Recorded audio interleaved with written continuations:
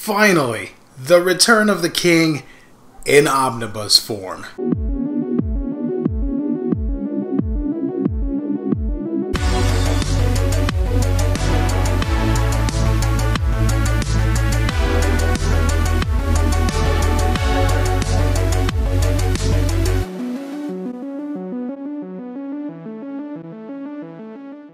Hey everybody, welcome to another exciting episode, another edition of A Week in Geekdom here on YouTube. My name is Giovannie Menendez, and today we're going to be talking about, finally, the Aquaman by Geoff Johns Omnibus. Now, if you don't know much about me, do know that my favorite DC superhero of all time is the King of Atlantis himself. I love Aquaman, and just the idea that we could get a full-fledged reboot and introduce this wonderful character to thousands and thousands of readers is phenomenal, spectacular. I love the idea of the new 52 because in 2011 I was not reading comic books. I was I knew about the characters, I had read about them in in my earlier years, but it wasn't until the announcement of the new 52 where I went, "Huh, you know, I kind of want to check out comic books again. I want to uh, see what all the fuss is about, but I don't want to deal with continuity. You know, all the problems that new comic book readers face. I had them back in 2011. Flashpoint was ending, so I picked those issues up. I read everything, and I was like, okay, I don't totally get what's happening, but I do know that it's going to lead to a new uh, DC reboot with uh, 52 brand new titles, and one of them happened to be Aquaman. Now, I had read uh, the character in the 90s with uh, Peter David, and I loved reading that that comic book back in the day. I also loved uh, his appearances in the uh, Bruce Timm animated universe, uh, uh, Superman the animated series, and then the Justice League stuff. I always liked the character, but it wasn't until this famous revamp, if you will, from uh, Mr. Geoff Johns, where we got to see this character in a completely new and interesting sort of way. Gone were the convoluted history of Atlantis, the relationship with Ocean Master or Orm, if you will, because let's face it, all they did was just confuse everything. Uh, regardless of it doesn't matter which book you're reading, the origin is more or less the same, but it's slightly tweaked. And over the course of many years, that piles up, and you don't really know what is definitive, especially when it comes to the history of Atlantis, because the city itself is shrouded in mystery. It's a living, breathing city underwater. And, and uh, Peter David uh, wrote it beautifully in the way that the city just remembers uh, its ancestors, and when they pass on, it's as if part of them lives within the city, so the city itself is alive. Then you have the complex history of the two brothers with uh, Ocean Master and Aquaman and all that stuff. Uh, Mera's origins is is different from from book to book, uh, whether she's princess or a queen or uh, she escapes to an alternate dimension, to another plane of existence, or she is trying to infiltrate Atlantis and murder uh, the king. It, it, it varies, but there is a connective tissue between everything. Atlantis will always be that wonderful city that has been uh, sunk and is underwater. Uh, Aquaman will always be this quote unquote fish out of water where he is in the middle of, of two roads. He he answers to the surface world as a superhero and as a powered individual, and he answers to Atlantis as a half breed uh, bastard child, if you will, of uh, Queen Atlanna, and uh, of course of a human father with uh, Thomas Curry those elements will always remain the same. You've got uh, Black Manta, who will forever hold a grudge against our hero, Arthur Curry, and you've got uh, Ocean Master Orm, who will always uh, envy his brother for the traits that he lacks, uh, supposedly. So, with that said, when the New 52 stories began, I was really excited. Gone were uh, previous continuities, like I said, and Geoff brings us a more um, sort of a royal drama, if you will. Uh, you have Arthur that has recently uh, denounced his uh, royalty, if you will. He doesn't want to be uh, king of Atlantis. He wants to do his own thing. He has to answer to surface uh, problems. Of course, he's part of the Justice League. What what this does is it, it brings us a it brings us into his world in a very simple yet effective way, and we get to see a more vulnerable and more realistic side to a character that, for many years before the New 52, had been the ridicule of uh, pop culture, whether it be TV shows or, or, movie jokes or other comic books or, you know, real life people mocking the character for what they think or what they thought was a lame uh, superhero. I happen to like the idea of a character that can explore the depths of the ocean because, yeah, space and all that stuff, but underwater, we really don't know all of what's in there. And just uh, the whole uh, sunken city and the, the mythology of, uh, of an Atlantis that once was at the peak of civilization, and how their uh, avarice and greed and power uh, determined their own demise and of course beautiful characters like Mera, one of my favorite ladies in comics, and how much of a badass she is in every single way.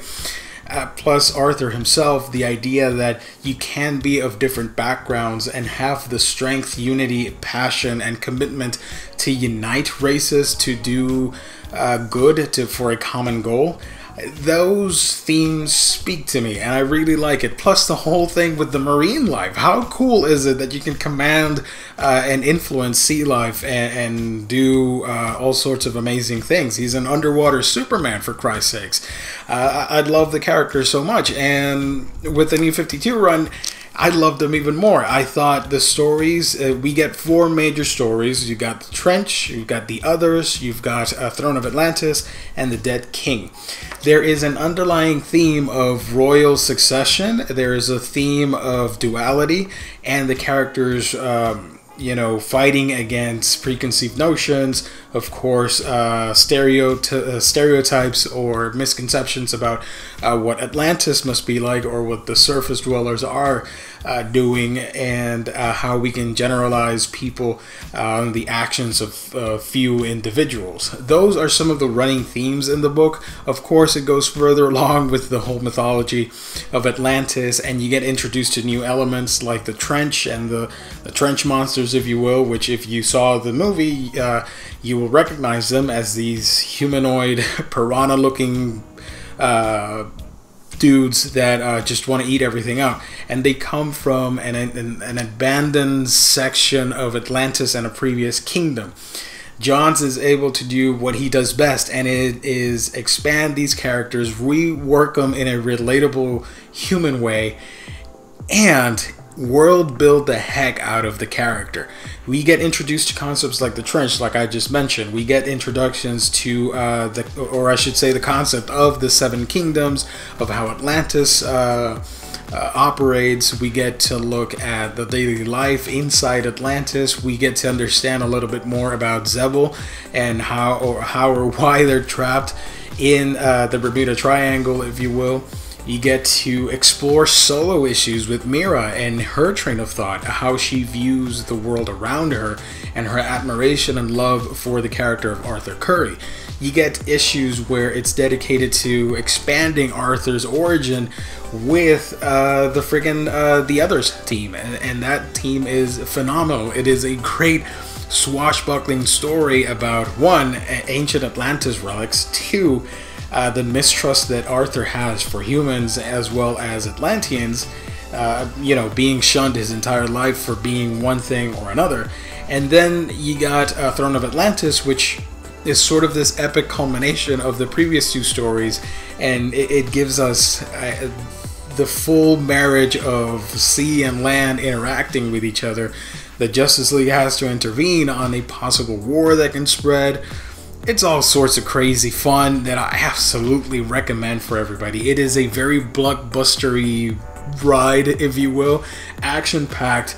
The dialogue is fairly simple and fairly uh, uh, entry level for a lot of people that they can get accustomed to uh, reading about these characters that you see here on this beautiful omnibus.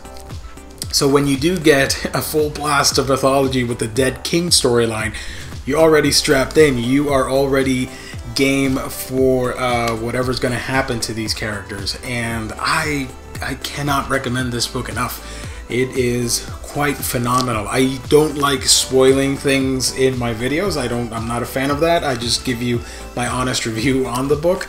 So I can't really go too much into detail unless you guys want me to do like a spoiler discussion. I, I don't know. But I thought that seeing the evolution or the themes um, in these four stories continue to grow and present us with uh, an Arthur that is very royal, very sure of himself, and very composed. Um, to see him evolve and grow into the king of Atlantis, if you will, is very awesome, very cool. Like I mentioned earlier, it's a very uh, blockbuster type story. The it is action packed.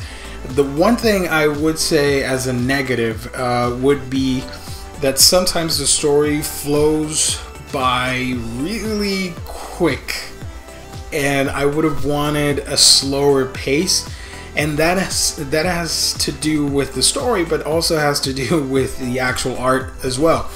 Ivan Reis, one of the best comic book artists in modern times, one of my favorites. Same with uh, Paul Pelletier working on this book.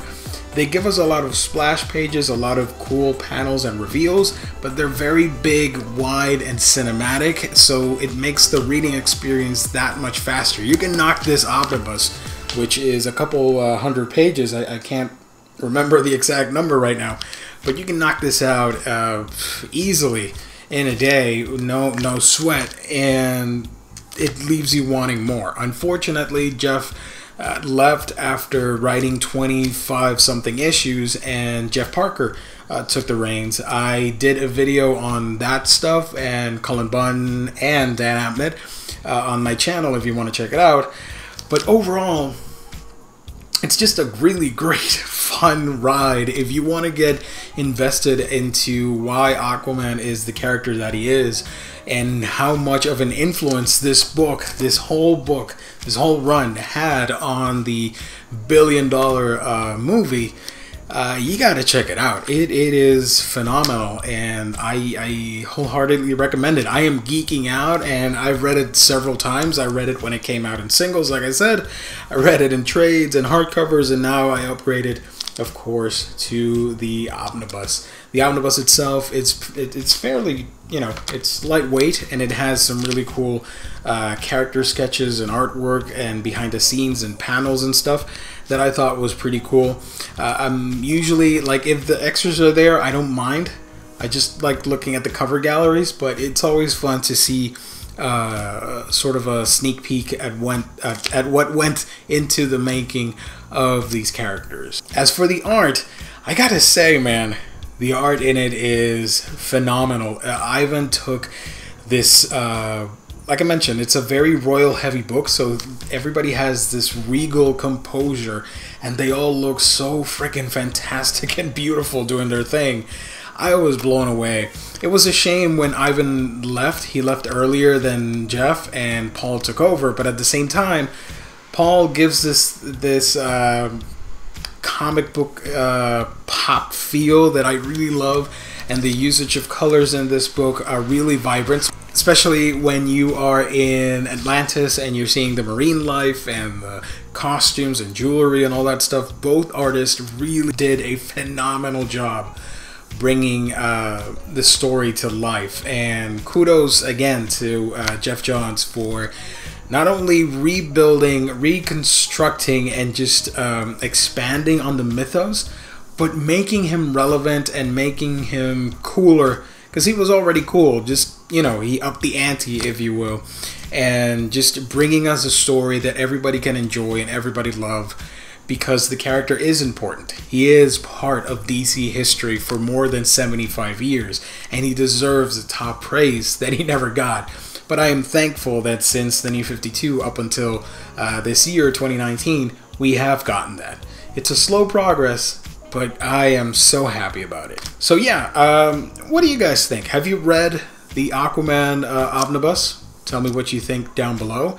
And if you haven't, but you've read other stories, let me know which of the many, many uh, runs that the characters that the character has had is your favorite. Is it Peter David? Is it is it Jeff Parker, uh, Geoff Johns, and Keith Giffen, and all these other great writers that have uh, worked on uh, my beloved Arthur Curry, my favorite DC superhero, Aquaman. Um, let me know down below. I'm very interested in finding out.